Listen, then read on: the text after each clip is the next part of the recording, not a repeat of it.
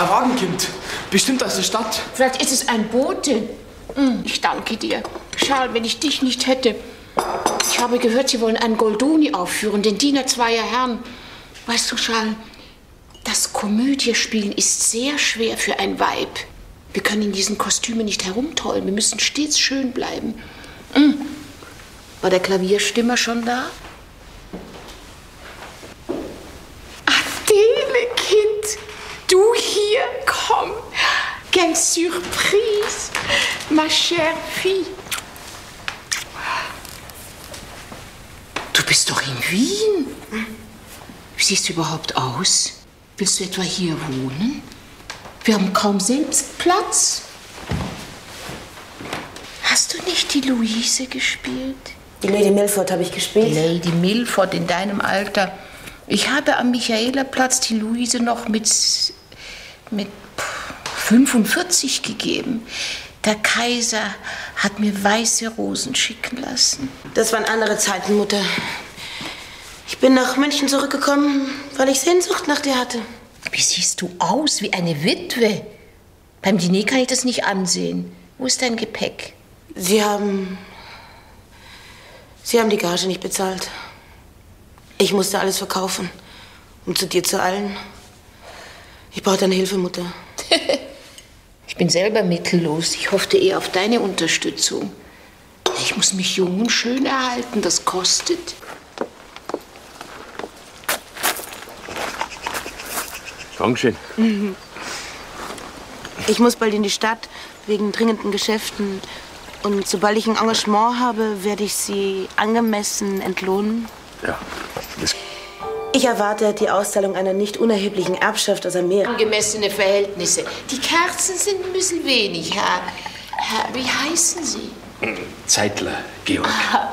Ich werde dich George nennen. Polheim. Wissen Sie noch? Hm? Romeo und Julia? Hm. Der ein junger Mann. Frau Vio. Stangl, mein Name. Wir haben Sie angebeten. Wie entzückend. Und der Herr Graf. Es ist Jahre her. Ihr Vater war ein großer Oh. Bewunderer. Willkommen, Mutter. Geht's dir gut? Es geht, mein Kind. Sind Sie auch Schauspielerin?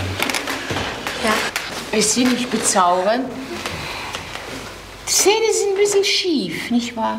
Ich würde sie sofort heiraten, Sie kleiner Rauschgoldengel. Ich sie aber nicht. Der Hecht vom König. Darf ich vorstellen? Ein Dichter auf Reisen, Balthasar Engel. Sie sollen doch nicht bedienen. Lieber Dele, Ihre Leute können Sie ordentlich feiern. Aber ich nehme an, Sie gehen nicht selbst. Sie lassen sterben, so wie das Leute Ihres Standes meistens zu tun pflegen. Santé. Alle werden genug zu tun haben. Auch Sie, Adele. Sie werden wieder spielen. Spielen, spielen, spielen. Ich komponiere doch jetzt. Das wäre nichts für ein Frauenzimmer. Spielen Sie doch was. Das wird sicher auch den Grafen freuen, nicht wahr?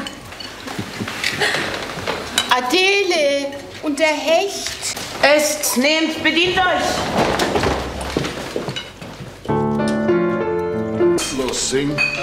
Die sind so besoffen, die merken das eh nicht. Wie die das merken? Freilich merken sie es. Das ist doch ganz schief. Ich bewundere Menschen, die sich mit ganzem Herz der Kunst verschreiben. Mit ganzem Herzen habe ich mir da.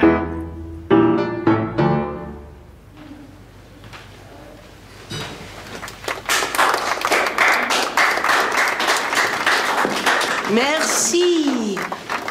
Roland, jetzt müssen Sie spielen. Ja, ja, ja. Adele! Kommen Sie, Sie zartes Reh. Wir werden ein Finanzimperium aufbauen, ein, ein gemeinsames Bankgeschäft. Sie und ich. Warum immer die... Jetzt geh weiter. Wo sind Tinte und Federkind? Ich muss das Geld noch quittieren. Das hat dein Fräulein vergessen. Ja. Ähm, beim Arbeitszimmer.